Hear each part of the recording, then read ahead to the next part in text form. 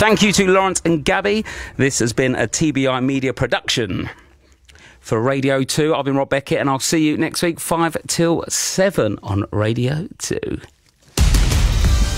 on the BBC Sounds app, on your smart speaker, and on 88 to 91 FM.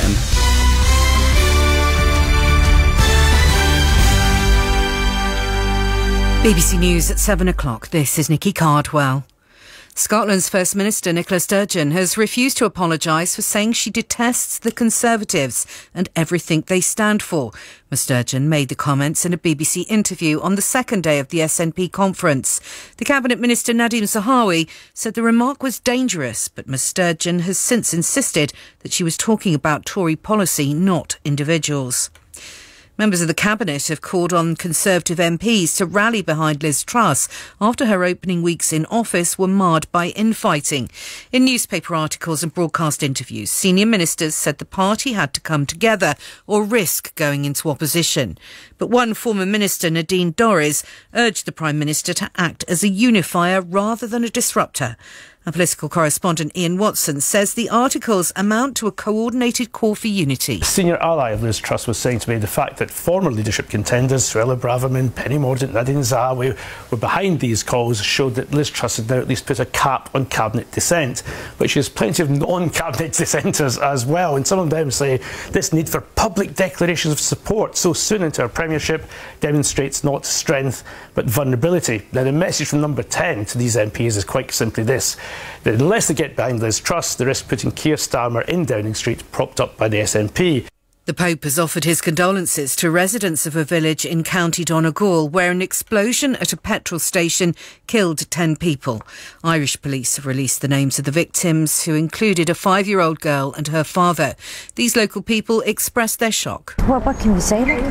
It's just a tragedy, and there's no words for it. All we can do is pray for the people that has died and their families and the people's injured. It's just lucky we weren't caught up in it. That's the way everyone feels. Eh? Just lucky that we weren't there at that time. Rescue teams are continuing to search through the wreckage of residential buildings in the southeastern Ukrainian city of Zaporizhia after overnight missile strikes. At least 13 people died, 90 were injured. Police in eastern India have shot dead a young male tiger, which has killed at least nine people since May. Previous attempts to tranquilise the animal failed. And Max Verstappen is the Formula One world champion for a second time. The Dutch driver won the Japanese Grand Prix, which was shortened because of heavy rain, and has wrapped up the title with four races remaining. Looking back at the season we've had so far, it's been pretty impressive, but also really enjoyable for most of it.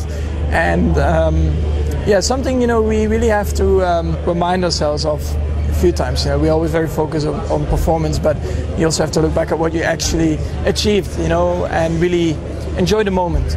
And the weather, the band of rain will sink into England and Wales from the northwest with clearing skies behind it. Blustery showers will move into Scotland and Northern Ireland from the west. BBC News, it's three minutes past seven. Now, for the last time tonight, Orna's here with the travel news. Nikki, thank you very much. It's wet and windy in some places. Windy weather affecting most of those Scottish bridges now. I think pretty much all of them. The A1 Time Bridge in East Lothian has been added to the list. The M80 in southbound at junction 8 through to 7 at Haggs or the Haggs. We've got an accident there. It's partly blocking the motorway. Argyll and Bute, the A83, rest and be thankful, is operating but with a guide. It's a convoy system, so it'll take slightly longer. The M56 westbound still closed for weekend work. That's in until tomorrow morning. So between 11 at Prestonbrook and 12 at Runcorn, a complete closure there. But it's just affecting the westbound side. The A557 has eased now, the Weston Point Expressway. Just a quick word as well about the M6 southbound, junction 3 at Nuneaton in Warwickshire. So a breakdown or broken down vehicle there, one lane closed. The M1 all open again now near the services and heading towards Northampton. That northbound side is where the accident was in one of the lanes. Suffolk, the A146 Norwich Road is still blocked in both directions near the Lowestoft Road roundabout between Beccles and Worlingham. And then queues as well with the M4 closure, which is still in eastbound. Junction 11 at Reading to 10 at Wokingham until tomorrow morning. The A33's been busy. Heading into London, the elevated section's down to one lane, so it's been very slow. Still heavy on the M25 clockwise at 16 in both directions. More travel for you in the morning. Thanks, Ona. Now, Tony Blackburn's Golden Hour